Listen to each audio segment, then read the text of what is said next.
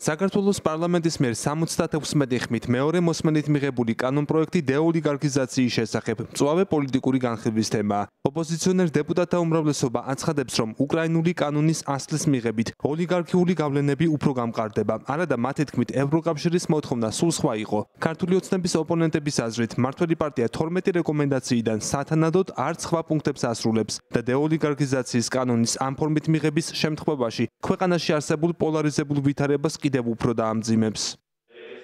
ქართული ოცნება დეოლიგარქიზაციის კანონპროექტთან დაკავშირებით შექმნის ფასადურ კანონპროექტს, რომელიც არ შეესაბამება ქართულ რეალობას, ის რომ იძინა ივანიშვილის ოლიგარქობას და ქართულ ოცნებასთან კავშირის დამტკიცება ჭირდება, ცოტა ახალი არის. ჩვენ გვჭირდება კანონი ზოგადად არა მარტო ბიძინა ივანიშვილზე მორგებული, არამედ ზოგადად ოლიგარქიული მართლობის პრევენციისათვის. თორე ის რომ ოლიგარქიული მართველი ყავს, უკვე შემდგარი ფაქტია. სასამართლოსთან დაკავშირებით დაგწინეს და გვითხრეს რომ რეკომენდაციის შესრულება არისო დაუშტრიხავი აქტების გამოქვეყნებაო დეოლიგარქიზაციაზე თქვის რომ ისეთ კანონს მივიღებო ბიზნეს გარდა ყველაზე გავრცელდება აბსოლუტურად ესეც მათი სიტყვებია ასევე მნიშვნელოვანი საკითხი არის საარჩევნო საკითხი და იქ თქვეს რომ მხოლოდ 70% ჩავატარებთო ელექტრონულ დანარჩენში როგორც ვაყალბებდით ისე გავაგზავნებთ გაყალბებას. აი ეს არის ქართული ოცნების რეფორმები.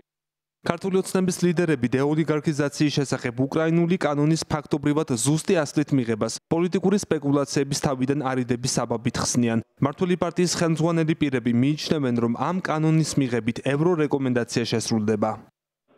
ეს კანონი მიღებული იქნა უკრაინაში.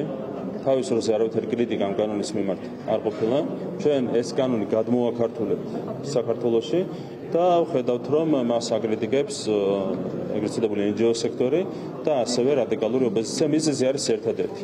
მათ არ უნდა დეოლიგარქიზაცია. ისინი ხედავენ რომ ერთადერთი სადაც არის ოლიგარქული გავლენები, ეს არის მათი პოლიტიკური პარტია, ეს არის ნაცმოძრაობა, ეს არის ეს ტროიკა, ვაშაძე, ჯაფარიძე, ხოსტარიასი, ოლიგარქული გავლენები არის მხოლოდ იქ. აქედან გამომდინარე მათ არ უნდა დეოლიგარქიზაცია და შესაბამისად არ უნდა კანონი დეოლიგარქიზაციის შესახებ. ყველაფერი დანარჩენი არის სპეკულაცია.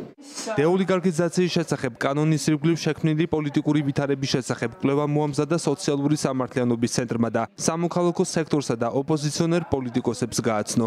არასამთავრობო ორგანიზაცია ამ დოკუმენტში ქართული ოცნების მიერ შემოთავაზებულ კანონპროექტს ქართული რეალობისთვის უშინაარსოს და დამაზიანებელს უწოდებს. ასევე დასკვნაში წერია, რომ კანონი ხელშეუწყობს ოლიგარქიული ძალაუფლების გამყარებას. რეკომენდაციის სახით კი წერია, რომ თავარი არა ამ კანონის მიღება, არამედ დანარჩენი 11 რეკომენდაციის სათანადოდ შესრულება, რაც ავტომატურად უზრუნველყოფს დეოლიგარქიზაციას.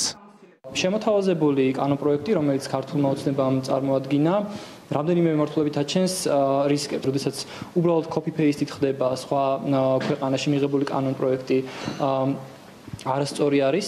მეორე პრობლემა ის არის, რომ საპარლამენტო განხილვები ამ საკითხის ირგვლივ მიმდინარეობს უკიდურესად უხარისხოდ და არსებითი მსჯელობის და განხილვების გარეშე და ამავდროულად ტოვებს რისკებს, რომ ეს კანონპროექტი აღსრულდება პრაქტიკაში შერჩევითად, რაც კიდევ უფრო მეტად შეუწყობს ხელს ძალაუფლების, არაფორმალური ძალაუფლების კონსოლიდაციას და ქვეყანაში დემოკრატიული ცხოვრების და დემოკრატიის ხარისხის გაუარესებას.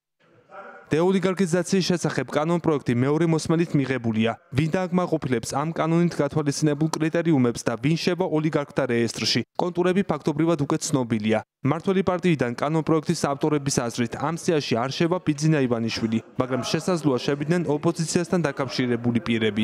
ამით ქართული ოცნების ლიდერები მიიჩნევენ, რომ ევრო რეკომენდაცია შესრულდება.